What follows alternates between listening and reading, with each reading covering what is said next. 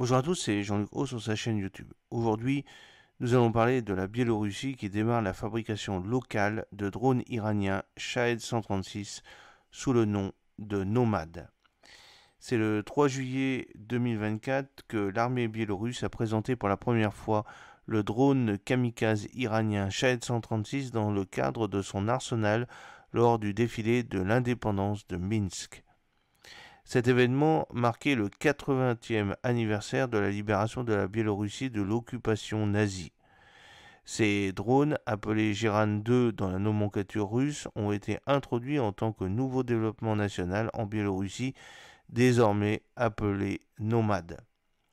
Ces drones kamikazes Shahed 136, appelés Giran 2 dans la nomenclature russe, ont été introduits en tant que nouveau développement national en Biélorussie, désormais appelé Nomade, et ce défilé du jour de l'indépendance à Minsk a rassemblé plus de 6000 participants, dont des militaires de la Russie, de l'Azerbaïdjan, du Kazakhstan, du Kyrgyzstan, de Chine, de Tadjikistan, d'Ouzbékistan.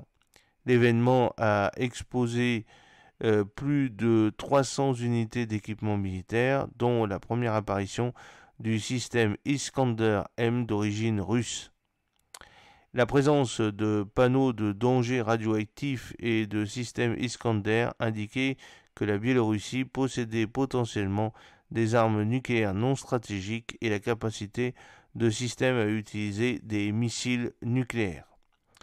Depuis 2016, le président biélorusse Alexander Loukachenko s'efforce de moderniser les capacités militaires du pays en exprimant son intérêt pour les systèmes Iskander M. En juin 2022, le président russe Vladimir Poutine a annoncé que ces systèmes de missiles, y compris les versions conventionnelles et nucléaires, seraient transférés à la Biélorussie. Le processus de transfert a commencé plus tard dans l'année et les premiers systèmes ayant été officiellement remis à la Biélorussie en avril 2023. Au cours du défilé, au moins quatre munitions de type Giran 2 Shahed 136 Nomad ont été transportées sur des véhicules tout-terrain, ce qui témoigne de la capacité de la Biélorussie à assurer la mobilité et à la préparation au déploiement du Nomad.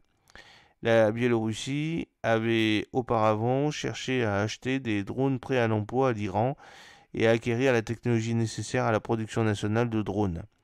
La référence faite par le présentateur de ces drones sous le nom de Giran 2 et de nouveau développement national suggère une possible production localisée en collaboration avec euh, des spécialistes iraniens ou russes. Le défilé comprenait la première apparition des missiles euh, Iskander M d'origine russe et la présence de signes de danger radioactif sur les systèmes Iskander indiquer la possession potentielle par la Biélorussie d'armes nucléaires non stratégiques ou de capacités de système à utiliser des missiles nucléaires. Le Shahed 136, connu sous le nom de Giran 2 en service en Russie, est une munition de type rôdeur de conception iranienne développée par Iran Aircraft Manufacturing Industrial euh, Company HESA. Il est conçu pour des attaques de précision sur des cibles au sol avec une forme d'aile delta d'une longueur de 3,5 mètres et une envergure de 2,5 mètres. Le drone est propulsé par un moteur à piston Mado MD550 lui permettant d'atteindre une vitesse maximale de 185 km/h et une portée opérationnelle allant jusqu'à 2500 km. L'une des caractéristiques notables du Shahed 136 est son prix abordable à chaque unité, coûtant entre 20 000 et 60 000 dollars. Cette fourchette de prix le rend accessible à l'Iran et à ses alliés, dont la Russie, qu'il a rebaptisé Giran 2 pour une utilisation en Ukraine. Le drone est lancé à l'aide d'un système de décollage assisté par fusée, son moteur à piston prenant le relais après le lancement. Il transporte une charge nucléaire d'environ 40 kg et est capable d'échapper aux défenses aériennes euh, en se lançant en essaim. Euh, en réalité, pour l'instant, il n'a été utilisé qu'avec des charges non nucléaires. Le Shahed 136 a été utilisé dans différents conflits, comme la guerre civile au Yémen et l'invasion russe en Ukraine. Les pièces de l'épave indiquent que sa conception intègre des composants provenant de plusieurs pays, dont les États-Unis, la Chine et la Suisse, ce qui montre la capacité de l'Iran de contourner les sanctions et à poursuivre la production du matériel militaire efficace.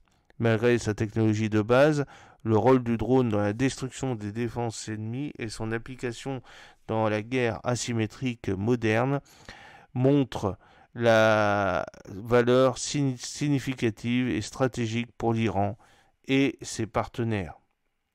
L'une des caractéristiques notables du Shahed 136, c'est son prix abordable. Chaque unité coûte entre 20 000 et 60 000 dollars. Cette fourchette de prix le rend accessible à l'Iran et à ses alliés, y compris la Russie, qu'il a rebaptisé Geran 2 pour l'utilisation en Ukraine. J'espère que cette petite vidéo vous a plu. N'oubliez pas de cliquer sur le pouce pour la promouvoir de vous abonner si ce n'est pas encore fait et de partager cette vidéo sur vos réseaux sociaux. A très bientôt, fidèlement, Jean-Luc O.